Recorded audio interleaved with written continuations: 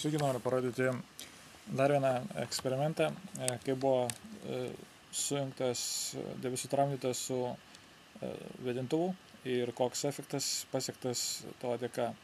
Nežiūrint į tai, kad chem, chemtrailų faktiškai čia beveik nėra, nu, bando užpulkšti iš lėktuvų dabar, debesų daug nėra, jie dabar visi sugriaužti ir kamoliniai, bet šio vietoje bando pašiaušti debesis ir visiškai už, uždangti dangdų debesų paklodę bet va štai šitą vietą neišeina jiems daryti.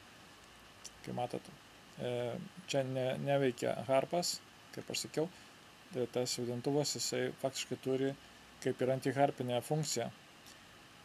Ir visas oras vis tiek energetiškai jisai išsivalo, visas fonas pasikeičia iš negatyvų į pozityvą. Veikia dideliu atstumu. E, vakar teko žiūrėti, net energija jautėsi net 50 km atstumu vien tik tai nuo to mažyčio ventiliatoriaus, kuris suko dvi varinės spiralės aplinkui. E, ir dabar matosi čia jų poveikis. Vėliau galbūt dar ką nors sugalvosim, visą laiką idėjos jos ateina į galvą. O kol kas e, taip atrodo dabar ta vieta, pro kurią turėtų praeiti e, didžiulės porcijos chemijos.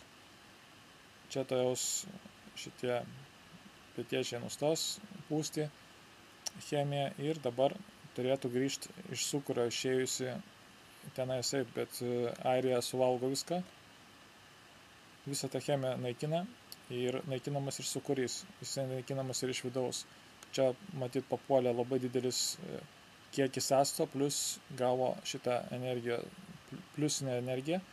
E, pasikrovęs astas tampa stipresniu, gerokai stipresniu Jis ir taip pats iš savęs turi jau energiją, kaip ir citrina, kuri gali e, uždegti mažytę diodinę lemputę.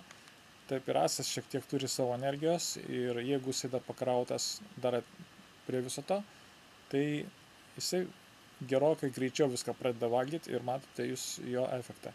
Taigi nenuleiskite rankų, jeigu jums kartą pabandžius tai neišėjo, arba jūs neteisingai darėte, arba debesis buvo netokie, kokius reikėtų naikinti kaip sakiau, e, asis e, naikina e, pačius chemtrailus, pačią baltą plėvę, kokia maždaug čia yra.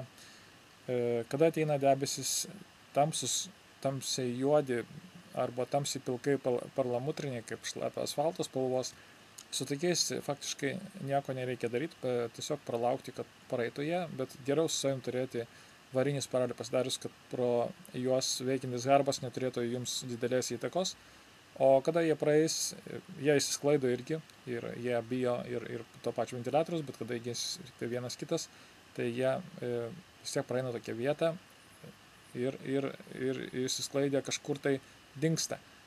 Bet kada ateina link jūsų balti debesis, baltas dulkės, baltas vūkas ar, ar tiesiog pareižami e, danguje chemtrailai, tai tada jūs galite aišku esą paleisti ir jisai turės efektą net už pusvalandžio arba už valandos.